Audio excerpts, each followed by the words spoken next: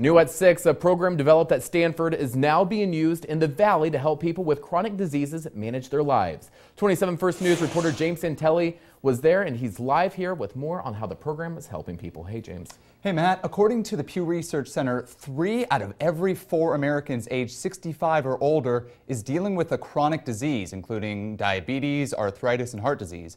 I met some of those people today, and many of them did not want their faces shown, but I did talk to an instructor and to Margie Ellis, who has been dealing with a chronic disease her whole life.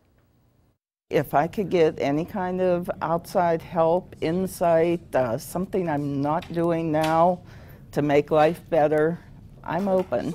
Ellis is part of a new class at the Davis YMCA in Boardman called Healthy U, which helps students take control of illnesses that can have a grip on their lives. When you're dealing with a chronic health condition, you can't have that doctor with you on a daily basis. You're the one that needs to deal with that chronic health condition every day. The six week class includes instructions on sleeping better, exercising, and directing one's mind off the pain and fatigue. Ellis has been living with essential tremor, often misdiagnosed as Parkinson's disease. Essential tremor, you shake when you're trying to do something. You're trying to eat, hold a fork, drink a glass of water um, write your name. That's when your tremor comes out. For her, the first class session has already helped.